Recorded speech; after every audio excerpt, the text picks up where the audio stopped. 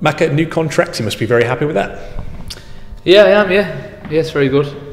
Um, happy to sign on again and extend extend my contract, and uh, I've enjoyed my time here. It's been it's been hard work. It's been very hard work, and uh, um, I just want to continue it and uh, get the club back to where it belongs. Yeah, well, you're in your third season now with Reading, and you must feel like the club's going in the right direction.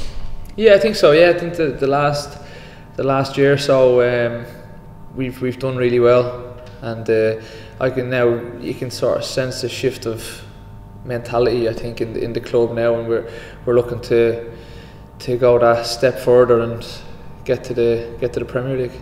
And of course, in, the, in that last year, in that last 12 months, uh, I suppose the manager's been a big part of that, and you know, he seems to have a good relationship with, with him.